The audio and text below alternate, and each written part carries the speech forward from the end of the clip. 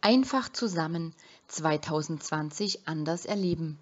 Ein Film der Behindertenbeauftragten und des örtlichen Teilhabemanagements Burgenlandkreis.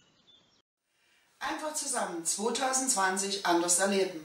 Dieses Jahr ist der Europäische Protesttag für Menschen mit Behinderung in Zeiten der Corona-Pandemie nötiger denn je.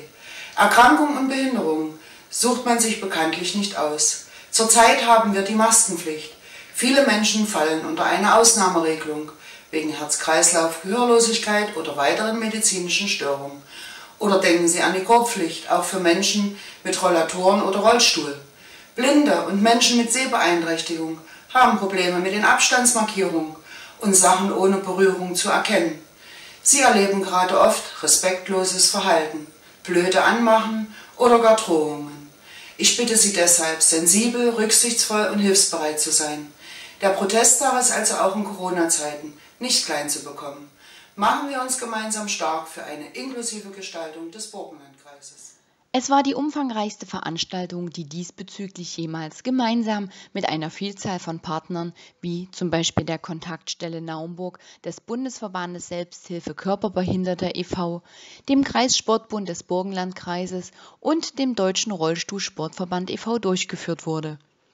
Alles fand in Kooperation mit dem örtlichen Teilhabemanagement Saalekreis und mit Hilfe finanzieller Unterstützung von Aktion Mensch, der Sparkasse Burgenlandkreis und dem Landessportbund Sachsen-Anhalt e.V. statt. Rund 400 Gäste genossen das Programm bei sonnigem Wetter. Zahlreiche inklusive Sportvereine, angefangen vom Rollstuhlbasketball über Blindentischtennis bis hin zum Rollstuhlfechten waren vor Ort. Alle Besucher konnten die angebotenen Sportarten selbst testen. Für die barrierefreie Kommunikation sorgten den ganzen Tag über Gebärdensprachdolmetscher.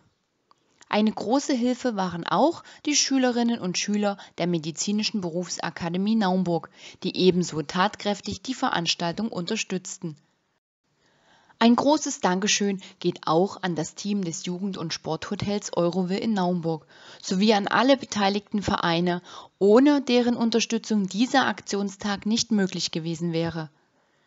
Ein weiterer Höhepunkt war die Anwesenheit von Grafikdesignerin und Illustratorin Julia Kluge. Sie hielt den Tag zeichnerisch auf ihre ganz spezielle Art und Weise fest. Alles in allem eine gelungene Veranstaltung für alle Beteiligten und Besucher. Das örtliche Teilhabemanagement wird aus Mitteln des Europäischen Sozialfonds und aus Mitteln des Landes Sachsen-Anhalt finanziert